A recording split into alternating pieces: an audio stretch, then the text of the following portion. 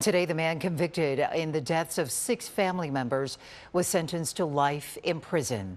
The murders happened inside a Gage Park home in 2016. The victims' ages range from 62 to just 10 years old. Prosecutors said Diego Uribe shot, beat, or stabbed the victims in what they described as a robbery that spiraled out of control. He declined to give a statement before he was sentenced.